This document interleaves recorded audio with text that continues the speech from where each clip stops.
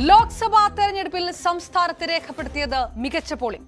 ഒടുവിൽ വിവരം കിട്ടുമ്പോൾ ആറു മണിയോടുകൂടിയാകുമ്പോൾ അറുപത്തിനാല് ദശാംശം ഏഴ് നാല് ശതമാനമാണ് സംസ്ഥാനത്ത് പോളിംഗ് രേഖപ്പെടുത്തിയിരിക്കുന്നത്. ഏറ്റവും ഉയർന്ന പോളിംഗ് കണ്ണൂരിലും ഏറ്റവും കുറവ് പൊന്നാനിയിലുമാണ്. അവസാന മണിക്കൂറിലും പലയിടത്തും വലിയ തിരക്കാണ് അനുഭവപ്പെട്ടിരിക്കുന്നത്. പോളിംഗ് സമയം അവസാനിച്ചപ്പോഴും പലയിടത്തും ആളുകൾ വോട്ട് ചെയ്യാൻ കാത്തു നിൽക്കുകയാണ്. പത്തനംതിട്ടയിലും ആറ്റിങ്ങലും അടക്കം പല ബൂത്തുകളിലും കള്ളവോട്ട് പരാതികളും ഉയർന്നു. ഒറ്റപ്പെട്ട ചില സംഘർഷങ്ങൾ ഒഴിച്ചാൽ പൊതുവെ സമാധാനപരമായിരുന്നു പോളിംഗ്.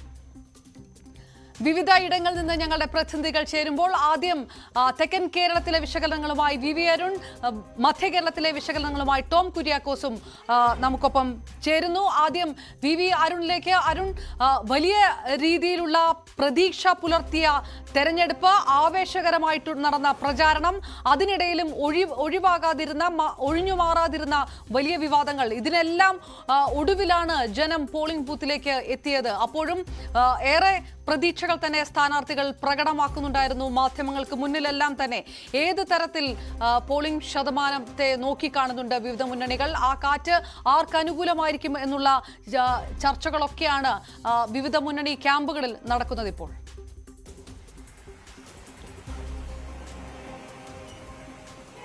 അപർണ സാങ്കേതികമായി വോട്ടെടുപ്പ് അവസാനിച്ചു. ആറു മണി വരെയാണ് വോട്ടെടുപ്പ് സമയം. പക്ഷെ ഏതെങ്കിലും ബൂത്തിൽ ആളുകൾ ആറു മണിക്ക് മുമ്പ് എത്തിയ ആളുകൾ ക്യൂവിലുണ്ടെങ്കിൽ അവർക്ക് കൂടി വോട്ട് ചെയ്യാനുള്ള അവസരം നൽകും. അങ്ങനെ ഏതെങ്കിലും ബൂത്തുണ്ടെങ്കിൽ മാത്രമാണ് ഇനി അവിടെ വോട്ട് ചെയ്യാനുള്ള അവസരമുള്ളത് വോട്ടെടുപ്പ് നടക്കുക. അല്ലെങ്കിൽ കേരളത്തിലെ വോട്ടെടുപ്പ് സമയം അവസാനിച്ചിരിക്കുന്നു. കേരളം വിധി എഴുതിക്കഴിഞ്ഞു അടുത്ത അഞ്ചു വർഷം ആരാകണം തങ്ങളുടെ ജനപ്രതിനിധി എന്ന്. എത്രത്തോളം അത് ഇന്ത്യ മുന്നണിക്കും അതുപോലെ തന്നെ ഭരണമുന്നണിയായ എൻ ഡി എക്കും ഒപ്പം നിൽക്കുന്നവർ എത്രയെന്ന് കേരളം വിധി എഴുതി കഴിഞ്ഞു. ഇവിടെ നിന്ന് ജയിക്കുന്നത് ഇടതുപക്ഷമായാലും യു ഡി എഫിൽ നിന്നുള്ള ആളുകളായാലും സ്വാഭാവികമായും ഇന്ത്യ മുന്നിന്റെ ഭാഗമാണ്. ബി ജെ പി ഇത്തവണ അക്കൗണ്ട് തുറക്കുമെന്ന ഉറച്ച പ്രതീക്ഷ അവർക്കുണ്ട്. തിരുവനന്തപുരം ആറ്റിങ്ങൽ തൃശൂർ മണ്ഡലങ്ങളിൽ അവർ വിജയം ഉറപ്പിക്കുന്നു ഈ ഘട്ടത്തിലും. ആദ്യം മണിക്കൂറുകളിൽ കനത്ത പോളിംഗ് ആയിരുന്നു സംസ്ഥാനത്ത് ഉടനീളം.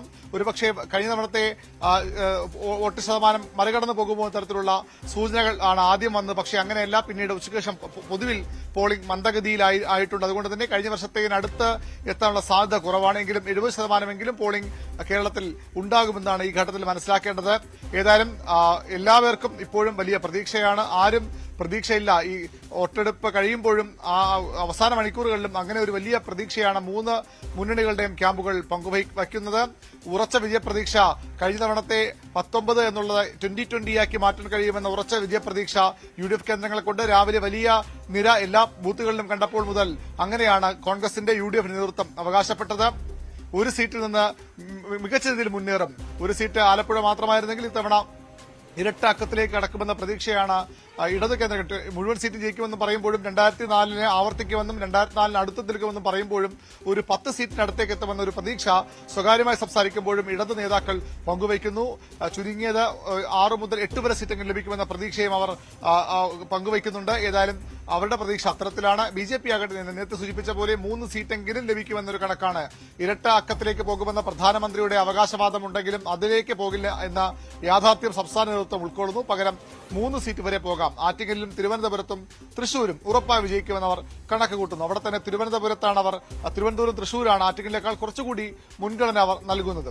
ഈ രീതിയിലാണ് മുന്നണികളുടെ ഇപ്പോഴത്തെയും അവകാശവാദങ്ങൾ അവരുടെ പ്രതീക്ഷ അല്പസമയത്തിനകം മുന്നണി നേതൃത്വങ്ങൾ ഈ തെരഞ്ഞെടുപ്പിന്റെ ഒരു പൊതു അവലോകനം നടത്തും.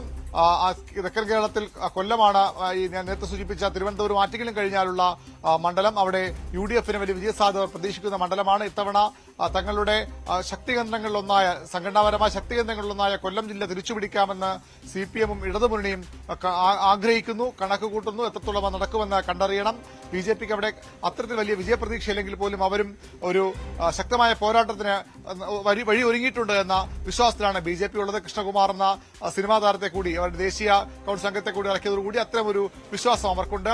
പത്തനംതിട്ട അതിശക്തമായ ത്രികോണ പോരാട്ടമാണ് നടക്കുന്നതാണ് പൊതുവിൽ വിലയിരുത്തപ്പെടുന്നത്. അവിടെ ആന്റോ ആന്റണി വീണ്ടും വിജയിച്ചു കയറുമെന്ന് യു ഡി എഫ് കേന്ദ്രങ്ങൾ ഉറപ്പിക്കുന്നു. എന്നാൽ എം പിക്കെതിരെയുള്ള വികാരം മണ്ഡലത്തിലുണ്ട്.